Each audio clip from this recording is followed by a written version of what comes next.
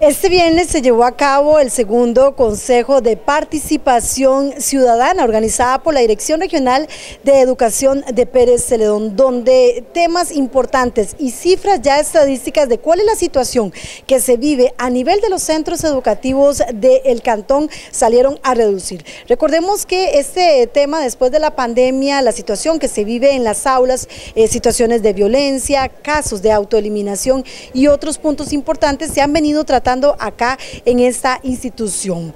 Se ha abordado el tema a través de la participación de diferentes instituciones públicas y hoy acá en este Consejo Participativo pues se tomó la decisión de seguir adelante con este proceso para buscar soluciones y también la forma en que se podría trabajar. Hoy se brindaron datos estadísticos, veamos aquí esta noticia sobre el tema. La Asesoría de Orientación de la Dirección Regional de Educación de Pérez Celedón presentó un informe sobre la activación de protocolos por diferentes situaciones dadas en los centros educativos del cantón durante esta actividad se determinó que a este mes de septiembre se registran 818 activaciones de protocolo. De estas, se determinó que mayormente fueron por bullying, que se contabilizaron 223, mientras que en autolesiones y prevención de suicidio fueron 193 y por violación sexual, psicológica y física 191 activaciones. Otro dato que sobresalió fue que de todas estas activaciones, 609 fueron remitidas a otras instituciones como son el Hospital Escalante Pradilla, EVAIS, Patronato Nacional de la Infancia y la Fuerza Pública. Estos datos pues realmente nos preocupan, hay otros protocolos, pues obviamente en drogas, armas, ¿verdad? Eh, xenofobia y discriminación y también trata de personas. Estos pues obviamente son un poco menores las activaciones, pero no dejan de ser preocupantes que sí existan esta eh, eh, de activaciones en los centros educativos. Y es que la situación también a nivel del Hospital Escalante Pradilla es preocupante. Por día están recibiendo solamente en el área de emergencias alrededor de 10 niños y jóvenes por diferentes situaciones.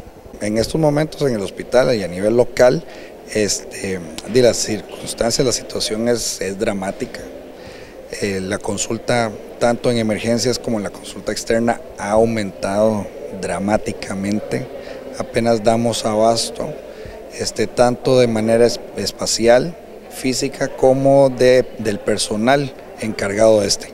Porque este, también, no tanto a nivel local, sino nacional, no estábamos preparados o esperando esto que se nos avecinó después de la pandemia y con inicios de la pandemia. Las situaciones que se atienden son variadas. Por este, atención de emergencia, por conductas autolesivas, por ideación suicida, por síntomas ansiosos, depresivos o conductas de riesgo.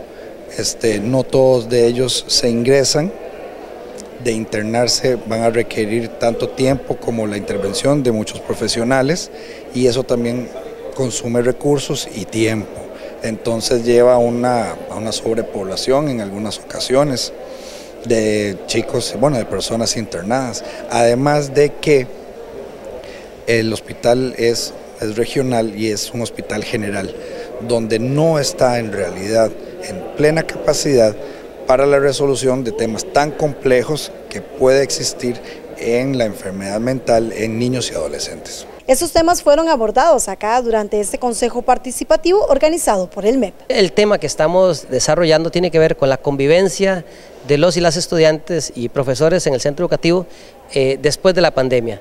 Es un tema que nos compete a todos y que nos ha traído, este, nos ha dado mucho trabajo en el inicio de esta, de esta, de esta vuelta a la, a la presencialidad. ¿Tienen invitados especiales? ¿Qué, ¿Quiénes son y qué temas precisamente? Sí, el tema es el mismo. El tema tiene que ver con la convivencia en el centro educativo y lo que ha, lo que, lo que ha pasado posterior a la presencialidad. O sea, esto ha sido una, eh, este vínculo entre los estudiantes en el contexto educativo ha sido un choque enorme porque eh, pasamos dos años desconectándolos y conectándolos a un monitor, a un teléfono, a, al internet y de pronto los desconectamos de ese sistema y hay que volverlos a conectar en la presencialidad. Entonces tenemos hoy eh, a los, compañeros de la Caja Costarricense de Seguro Social, tenemos al PANI, tenemos invitados a la Fuerza Pública, eh, tenemos instituciones del MEP, que esta mañana nos representa, que es la Escuela Ida Jorón, por ejemplo, que viene con un proyecto que está presentando, eh, donde han hecho ciertas estrategias para poder minimizar el efecto post pandemia en el tema de convivencia. Estos foros realmente vienen a representar eh, un trabajo articulado, no solo el Ministerio de Educación, sino de las diferentes instancias que representan a la comunidad. En este momento nos trae y nos preocupa mucho la situación de la convivencia de los jóvenes en los centros educativos y los niños. Hemos tenido las participaciones de la caja por parte del doctor, del PANI también, que ha sido muy importante, y bueno, en unos minutos vamos a tener también la Contraloría eh, de Servicios Estudiantiles, ¿verdad? El Ministerio de Educación, eh, donde nos vamos, vamos, a tener un panorama ya también nacional. Igualmente tuvimos aquí la representante de la Dirección Regional con una información estadística muy valiosa que nos da un termómetro de la situación que se está viviendo en los centros educativos. Y bueno, como ustedes podían eh, observar en la información anterior, ya hay datos estadísticos que muestran la realidad que se vive a nivel de los centros educativos. ¿Qué viene ahora? Bueno, de eso habla también la asesora de orientación. Bueno, precisamente yo creo que estos espacios como el que se está haciendo el día de hoy, eh, el segundo Consejo de Participación permite tanto a las instituciones conocer el contexto de cada una de ellas. A veces es muy sencillo decir, mira, es que PANI no hace, MEP no hace, Caja no hace, pero cuando nosotros conocemos eh, el, el abordaje que se da dentro de estas instituciones nos permite también creo que considerar ¿verdad? el trabajo arduo que cada institución hace, porque estamos saturados, sí, estamos muy saturados. Lo importante es analizar a partir de aquí qué vamos a hacer. Entonces, dentro de las recomendaciones, ahorita en el Consejo ha salido, por ejemplo, que hagamos capacitaciones en conjunto, fortalecer algunas redes de apoyo, ¿verdad? Que vienen involucradas varias instituciones, dar a conocer un poco cuál es la función, cómo se hace la referencia.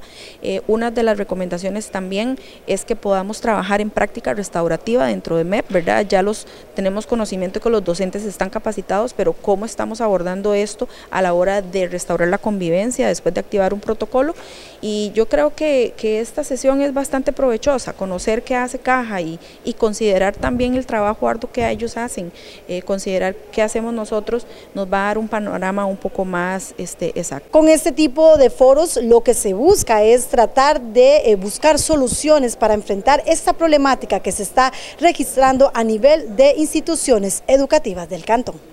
En cámaras, Alan Cascante, un reporte de Carmen Picado Navarro para TV Sur Noticias.